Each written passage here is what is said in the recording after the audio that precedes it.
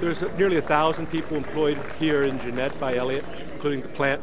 Uh, Western Pennsylvania, it's over 1,100 because we have other facilities here as well.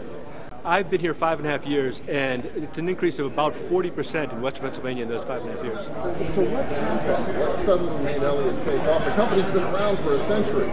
Well, part of it is simply we've, uh, we're a well-managed company. Um, the other part is the markets we sell into, and our management has done a good job of uh, organizing, streamlining Elliott, uh, and really expanding the company's footprint outside the U.S. At least 70% of our sales of the equipment we make here in Jeannette leave the U.S.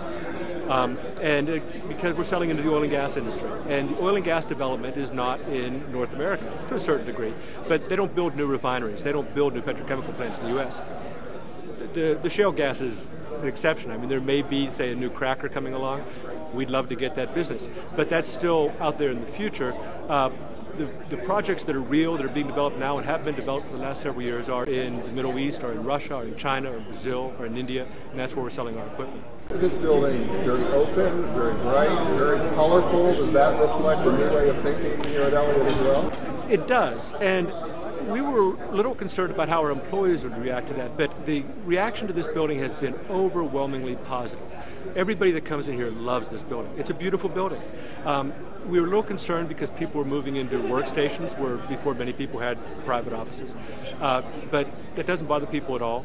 Um, the building is designed to be very workable. Despite having a, a, workstation, there's a lot of rooms where people can sit down for casual meetings or more formal meetings.